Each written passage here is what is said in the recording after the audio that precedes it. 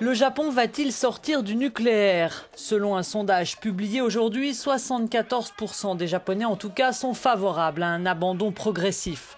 Samedi à Tokyo, ils étaient des milliers à réclamer la fin de cette énergie, trois mois jour pour jour après le tremblement de terre et le tsunami. Le récent non au nucléaire des électeurs italiens fait aussi réfléchir le gouvernement nippon. La situation des pays étrangers pourrait bien avoir de l'influence, pas seulement sur le nucléaire, mais aussi sur diverses questions internes. Le gouvernement japonais a approuvé un projet de loi pour aider la compagnie TEPCO à payer des indemnités à ceux qui ont été touchés par la catastrophe, en premier lieu les habitants autour de la centrale de Fukushima. Tokyo indique qu'au moins 8 employés de la centrale ont subi une exposition aux radiations supérieure à la limite autorisée.